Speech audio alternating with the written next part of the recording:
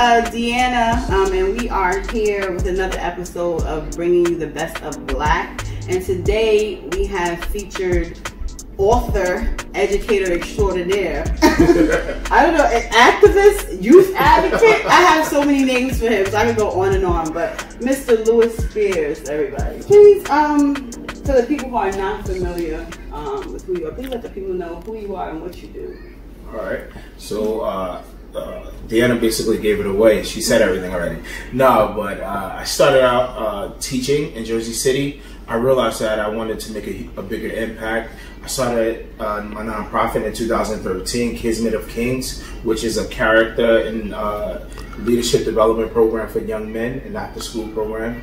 Um, and then shortly after that, I became an author. Um, I've always been someone who just loves youth and want I, I just want I just want them to do well. We talk about the promises that they have inside, right?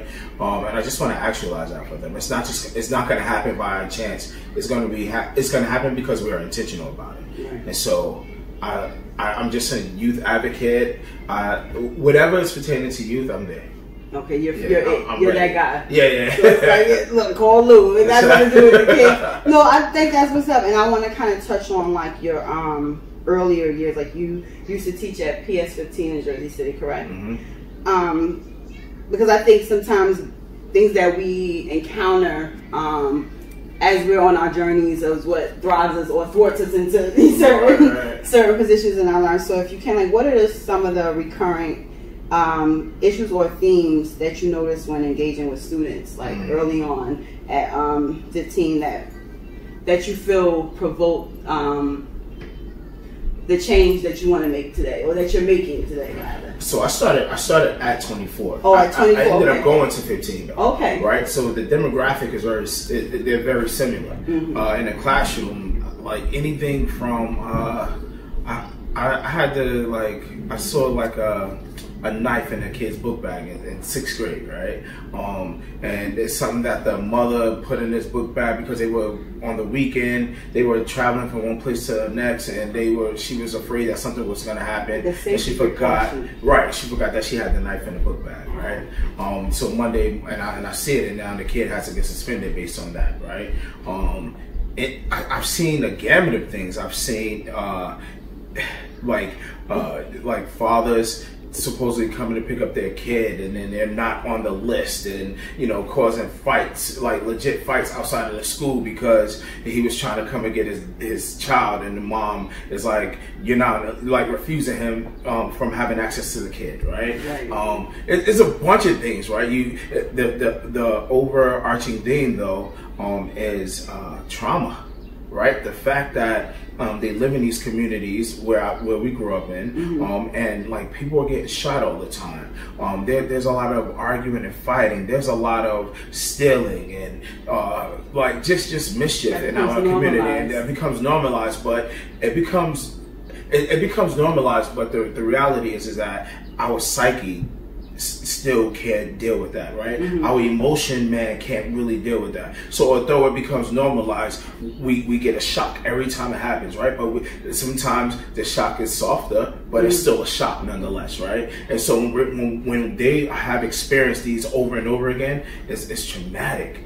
And uh, that and, and the work that is necessary. Um, and, and a lot of a lot of times people are like, you know, um, white people shouldn't be in the hood teaching our kids. Um, I don't think that is white or black in that way, right? I just believe that yo, if you can't identify trauma, you can't teach if you don't help them with their issues that they're coming to school with, right? And so, like a lot of times, we have our black teachers who aren't able to. You know, reach the kids because they're like, I'm here to teach. I ain't here to do none of that other stuff, right? Right. Or or th- there are things, right? When I caught a kid daydreaming, I remember when I was a kid, when I would daydream, it was something crazy that happened the night before. Mm. So, like, you know, if I find a kid daydreaming, right, it's because I understood that connection. So mm-hmm. I would pull him to the side, pull her to the side. Hey, what's going on? How's it going, right? Yo, it was crazy last night. Like, what's going on? You know, that type of thing. Are you mm-hmm. hungry? Are you this, right? Because ultimately, like, real recognize real. Right. And so, like, we need people in the hood who are going to be for our kids and have under, an understanding about their lives. You know, I'm glad you kind of you said that it's not about a black or white thing because I remember growing up in our educational systems, and I had teachers that I was close to that that cared, Yep. that weren't black, you know, that were black as well. But I didn't, I didn't think about that stuff growing up. It was just Right. teachers who who kind of like did more, did a little right. more. You know what I mean? right. I wasn't a troublesome child, but I knew that like, oh, this teacher really cares. You can tell, you Yeah. can feel it because Yeah. they going out to be, they going beyond,